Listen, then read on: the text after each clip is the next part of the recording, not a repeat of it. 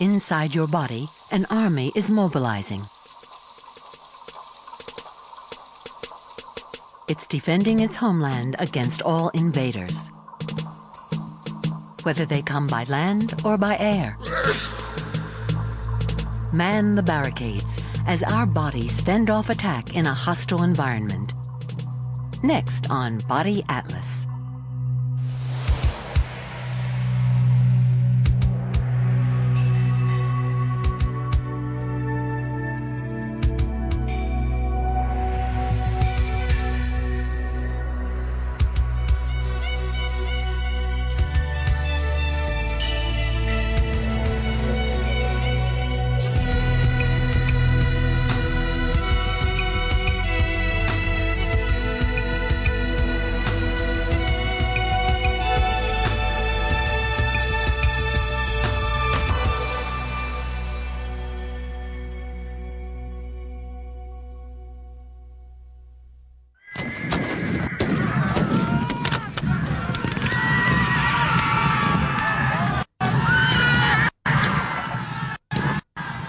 This battle is the closest Graham will ever get to mortal combat.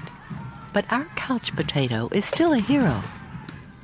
Even on a lazy afternoon, his own body is under siege, fighting off billions of enemies, the parasites, bugs, and germs which surround him. Our bodies have evolved their own lines of defense, a microscopic army of cells with specialist roles they obstruct attackers, destroy invaders, and even repair damage. 20th century living looks easy. Yet without this invisible army of cells, we'd never survive beyond infancy.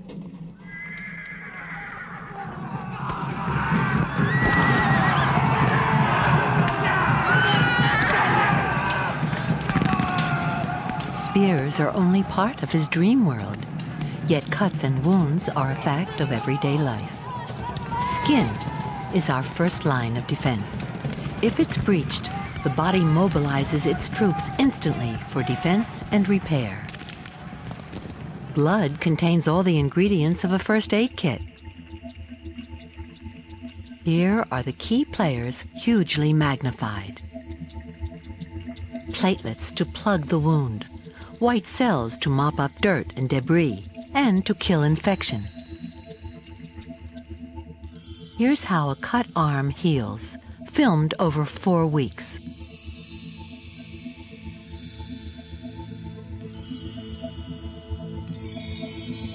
We'd all die young if it weren't for this rapid mending process. Healing starts in our bones. This is where the body manufactures its defense and repair brigade. Bone marrow is the birthplace of specialist shock troops that patrol in the blood. First into action are tiny cells called platelets. They charge through the blood vessels to plug the wound. Without them, we'd bleed to death from the tiniest scratch.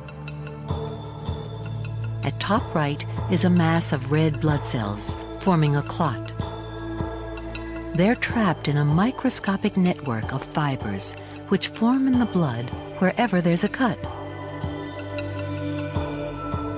The clot stops blood from leaking out and germs from getting in. Alerted to the damage, white cells in the blood now move up into the front line.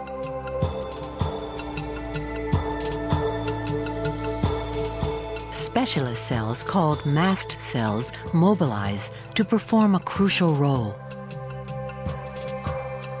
They erupt, releasing a chemical called histamine.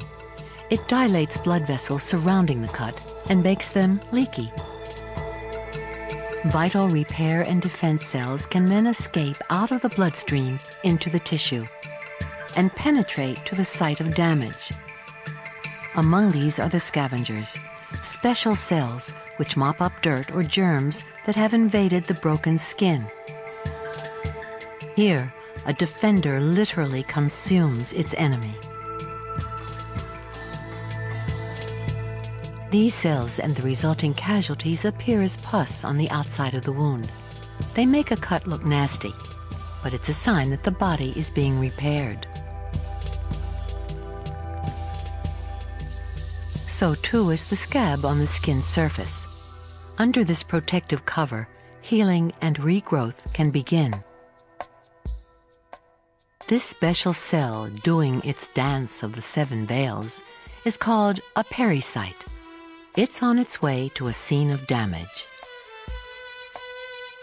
The pericytes knit together to form a sheet of new skin at the surface of the wound. At the same time, skin cells in the deepest layers are stimulated to grow faster, to replace the ones which have been lost. This ball of cells will smooth out to form a new layer of skin.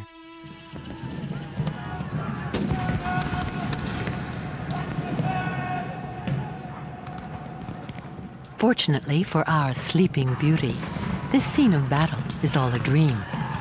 Yet the body is never safe from attack. His luxury home is no sanctuary. It looks clean, yet it seethes with invisible marauders. Inside his cushion, dust mites, here magnified a hundred times. These eyeless monsters share bed and board with even the most fastidious. Curtains and bedding, carpets and soft furnishings all make ideal breeding grounds for the house dust mite. Millions can live in a single pillow. Even a teddy bear can play host to them. Dust mites feed off the dead skin cells that we all shed. They may look cute, but their dung pellets can kill. Breathed in, they can trigger asthma, dust mite pellets may be the commonest cause of this 20th century scourge. Our modern homes, warm and poorly ventilated, encourage dust mites. Their droppings hang in the air like fine dust. Graham can't avoid breathing them in. He's unaware of the dangers. Yet dust mites are not the only creatures sharing his comfy abode. In the woodwork and cushion of an antique chair, there may lurk bedbugs.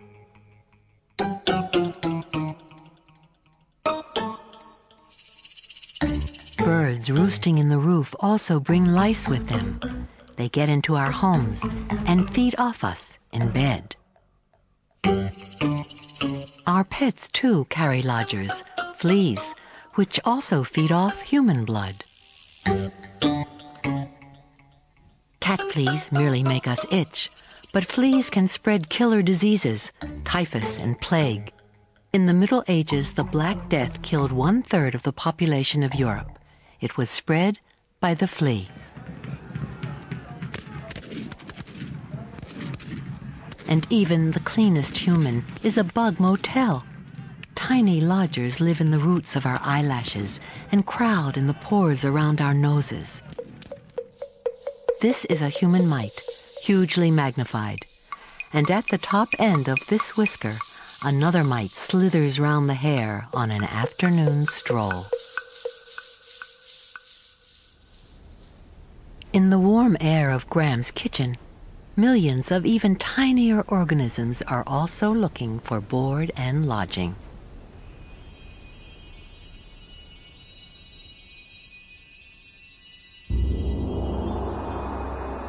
yeasts, fungi, mold, bacteria. We live in a soup of them. They multiply fast on our food and on us.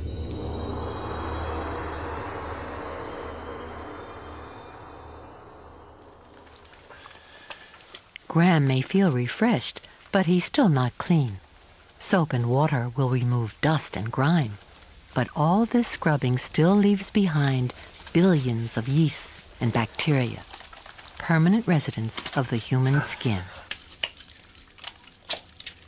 This ghostly imprint reveals the colonies of bacteria which survive on your hand and flourish, even after a thorough scrub.